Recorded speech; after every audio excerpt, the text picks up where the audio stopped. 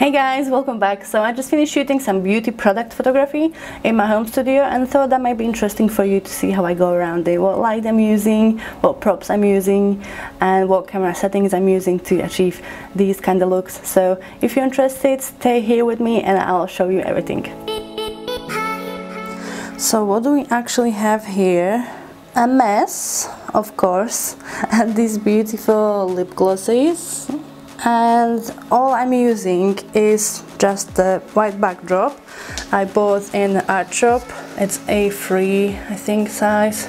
Cost like two pound or something so you can get lots of different colors. I always have all different colors for my beauty photography but this time I needed to use a white one and a pink one and I'll tell you why in a second. Also I have my light here, it's a Neewer S300N pointing to the white wall and since my walls are not white, they are magnolia or something in England that's very popular, I just put white backdrop there so I can bounce the light off the wall onto the product. And of course you've got all the products here and um, tissues because we need to always clean everything. I'll show you. And there's a little bit of water because I did some pictures with the water. So let's have a look how this looks like.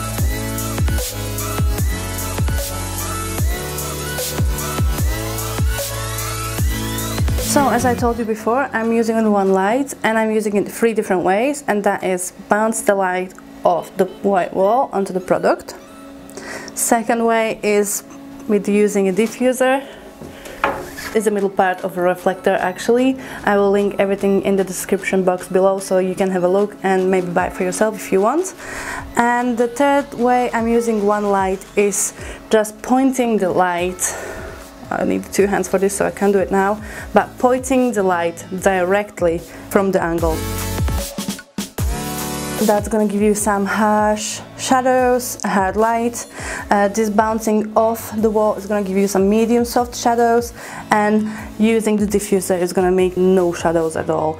All the pictures I was taking on my Canon 7D Mark II that I'm recording right now so there is not much to say about that because you can really use whatever camera you have. I was using my 50mm 1.4 lens and always shooting uh, beauty photography or product photography for um, aperture around 10 to 15 that depending on my light and the mood I'm going for but I always go really high with the aperture so the lens doesn't really matter as well it doesn't need to be fast lens, you don't need 1.4, 1.2 lens to shoot some nice beauty photography because you want everything to be sharp and crispy so you're shooting on high aperture anyway. Important thing to know about product photography is that the picture is going to be used to sell the product so we want to make sure that the color is just as it should be and as it really is in real life.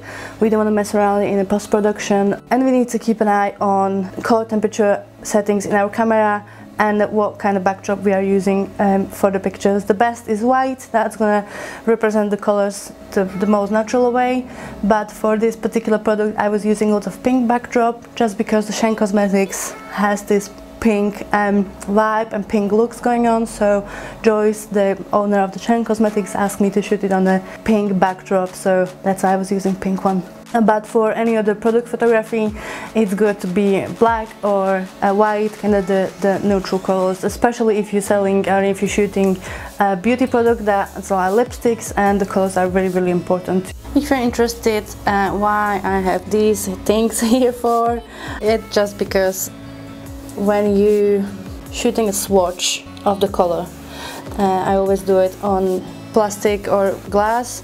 Uh, this one in particular is from picture frame from Ikea, really just the, just the middle part. You can really use whatever you want, make sure it's always clean and there are no other marks on it. Sometimes you can you know shoot the swatch just like this, but if you want to make it a little bit more interesting, um, you go and put something that will lift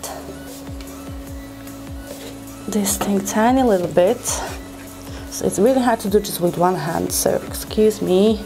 But now we've got this little shadow going on there underneath and how high it is what the you know the thing what you got underneath it how far away the shadow is to be and something looks better. If it's on the flat something looks better with the little shadow. And one last thing is if you want to make it even more interesting, you can use a water because I think everything looks better with water. So just flip this around to get the pink ones here.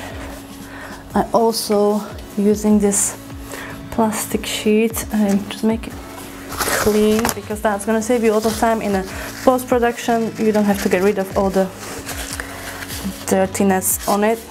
Okay, and now we take our product and a little bit of water. You can spray it on. I'll show you. Just like this.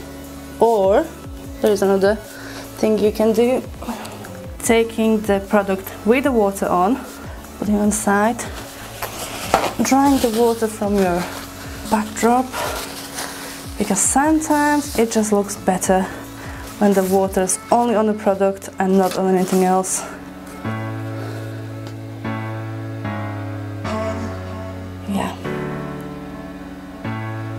So that's it guys for today's uh, quick behind the scene of how I shoot product photography at home with just one light. I hope you enjoyed it and I hope you find it helpful somehow.